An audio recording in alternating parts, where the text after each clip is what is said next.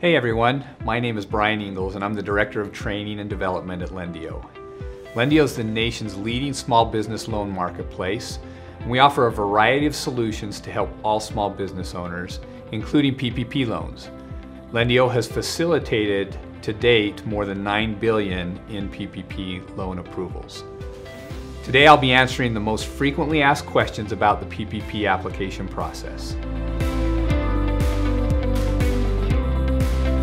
So borrowers just have to apply for loan forgiveness through their lender. The lender then submits their application to the SBA on behalf of the borrower. Borrowers may not directly submit their application to the SBA for forgiveness. There are three different applications to choose from and they depend on a couple different things. First of all, if you received your PPP loan and it was less than $150,000, then you can easily fill out the simple form, which is the 3508S. If you receive more than 150,000 and you don't qualify for the S form, then there is an easy form that has three criteria to meet. If you don't qualify for the easy form, then you'll fill out the full 3508 normal form. Everyone who applies for loan forgiveness is required to have copies of their bank statements, a government issued photo ID, and their SBA loan number. Additional documents will need to show how the loan was spent. Things here might be included would be owner compensation, payroll costs like salaries, wages, benefits, and then also mortgage interest payments, rent or lease payments, and utility expenses. Note, you will need to complete a loan forgiveness application with each unique loan. The great thing is, if you've done it one time, the second time will be very simple. So once you submit your application to your lender, they'll have up to 60 days to review everything.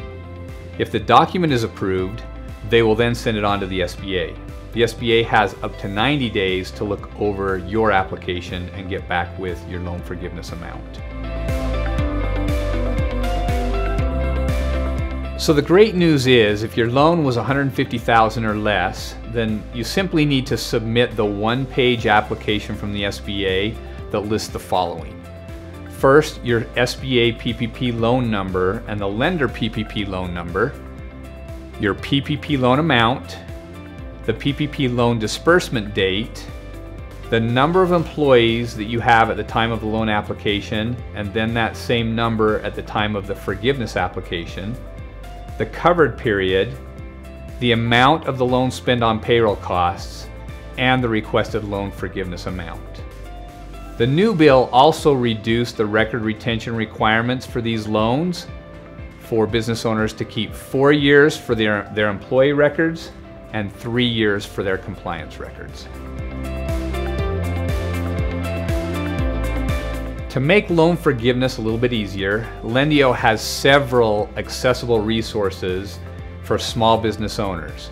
First of all, Lendio's Sunrise bookkeeping platform is free and allows you to link your bank account so you can then easily track your expenses.